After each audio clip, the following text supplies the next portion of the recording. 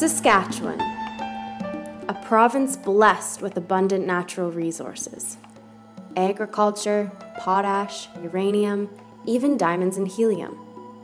And perhaps the most challenging of our natural resources to access are hydrocarbon reserves.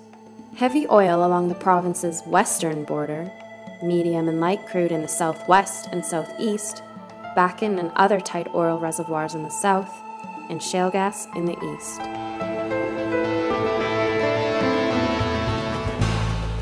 The Petroleum Technology Research Centre in Regina, founded in 1998 by the governments of Saskatchewan and Canada. Its purpose? To foster research and development and apply innovative technologies to the field. Its goal? To improve recovery rates and lessen the environmental impacts of hydrocarbon extraction in Saskatchewan. PTRC is providing that bridge between the scientific work and, and basically knowledge that's being produced in academia and bring it to the industry and implement it in the fields. We look at how oil and gas is recovered in the province. And under conventional means, we're only producing about 10% of the oil that's uh, in the reservoir. That means we could potentially leave 90% of the oil behind. Through enhanced oil recovery techniques such as CO2 injection, hydrocarbon miscible flooding, polymer flooding, water flooding, that number could be doubled or tripled. My objective here is to encourage oil and gas companies, if they try that sort of thing, that through the province and the federal government, we can match their funding. So they're spending 50 cent dollars to de-risk these kinds of recovery mechanisms to improve the overall recovery of their reservoirs. PTRC has been focusing on heavy oil for the past 20 years or so. It is really important to uh, understand that in addition to heavy oil, we have vast resources of light and tight oil that we have to focus on in terms of the long-term value that they have for the province. Certainly make it an important resource to pay attention to. From 2005 to 2009, the PTRC managed field trials of new solvent extraction technologies at Husky, CNRL, and Nexen oil fields. The success of these trials led Husky to build industrial scale solvent vapor projects that have seen 2 million barrels of incremental oil extracted, while reducing greenhouse gas emissions and creating hundreds of new jobs. PTRC is kind of the straw that stirs the drink, I guess you could say. We make it all sort of work together and happen. We have very many different partners. Some are funding, some are just wanting to do research, and each one requires a different type of relationship with us and with each other.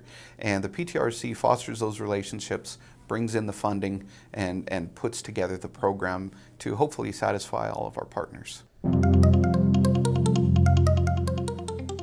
The Weyburn Midale project is a research consortium that was formed in the early 2000s to look at greenhouse gas storage in association with enhanced oil recovery utilizing CO2 at the Weyburn oil field.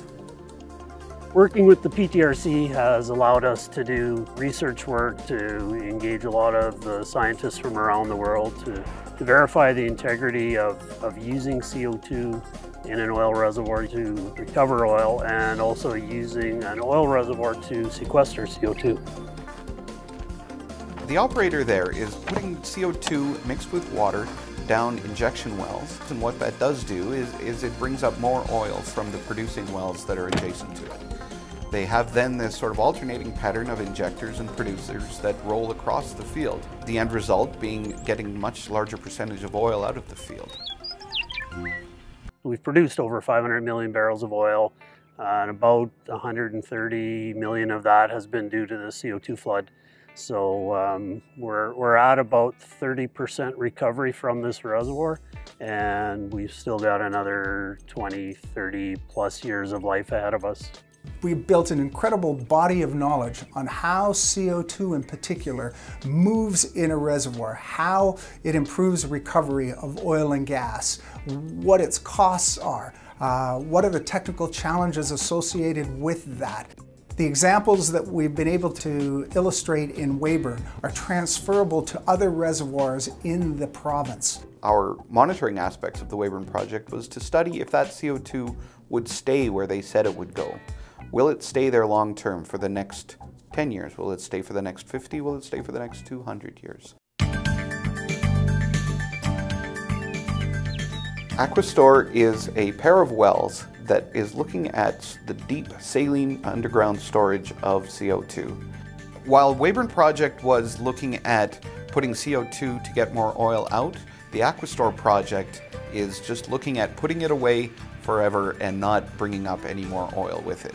Deep saline aquifer storage, as it's called, just seeing if we can store CO2 in the subsurface in large enough quantities to make a difference globally and for a length of time that is significant in the thousands of years. The wells themselves are very deep, 3,400 meters plus. Together, they are the first and second deepest wells ever drilled in the province of Saskatchewan. We are approximately three kilometers away from the Boundary Dam power station itself where the CO2 is being captured. In fact, what's interesting is if you were to take the distance from here to the power station and stand it up on end, that would be actually the depth that we're actually injecting the CO2 at. So the distance from this actual injection wells where we're doing the CO2 injection at Aquistore are almost the same distance away from the power plant as the depth underground where we're injecting. What they're doing is, is accessing a storage reservoir called the Deadwood Formation. And this formation is able to suck in fluids like CO2 and store them for an, a very long period of time, very deep and very far away from other commercial applications such as other oil fields or potash mines, very deep and very well stored underground. So where I'm standing right now is actually one of the 13 superstations that are used to measure and monitor the CO2 that's being injected at the Aquistore site. The wells are just kind of over here to my uh, right, and they're injecting the CO2 to a depth of about uh, 3,400 meters. What we have here are the most advanced technologies that uh, can be applied to make sure that the CO2 is staying in place we actually have one of three water measurement ports where we can sample the water at different depths to make sure that no CO2 is escaping uh, from deeper down in the ground. We also have other kinds of measurement monitoring devices here. We have soil gas sampling ports which you can't see but which are buried here in which we uncover and take soil gas samples just to make sure that the soil is also not being affected by the CO2 that's being injected. And behind me are uh, different kinds of monitoring devices that measure for upward shift and sideways shift just in case the CO2 is causing the ground to lift. And finally, just a bit further back, way behind me, is a air monitoring uh, device, which is checking to make sure that no CO2 is escaping from the injection well and entering the air around the area. And of course, in three years of monitoring, since we started the Aquistore uh, injection, we have not experienced anything that would indicate in any way a leak of CO2 to any of these uh, particular locations. You are looking at the application of these technologies that have been worked on over the last 20 years.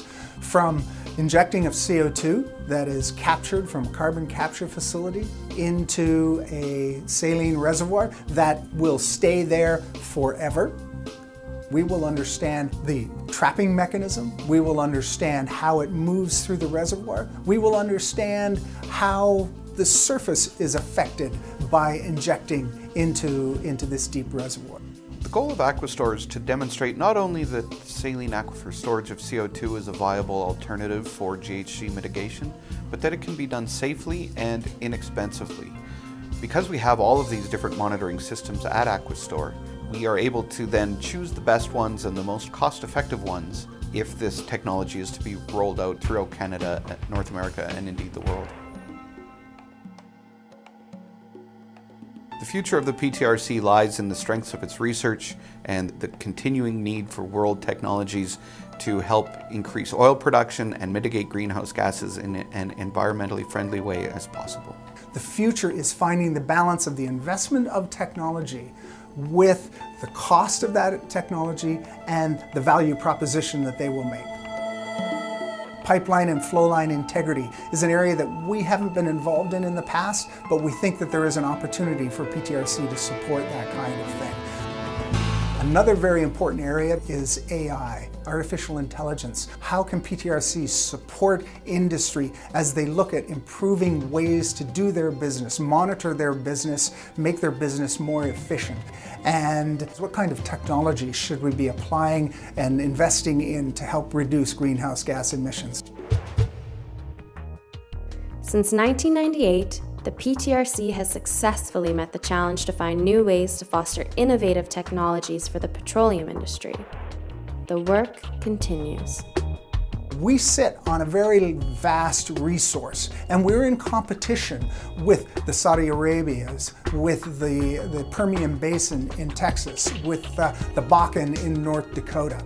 We recognize that we have to be as efficient, if not more efficient. We have to be more cost effective all at the same time generating revenue that can be used to support looking at and developing renewables for the future.